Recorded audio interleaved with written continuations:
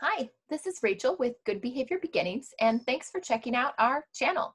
I'm a board certified behavior analyst, and I want to use this channel to share ways that applied behavior analysis can be used in everyday life, especially through our homeschool journey.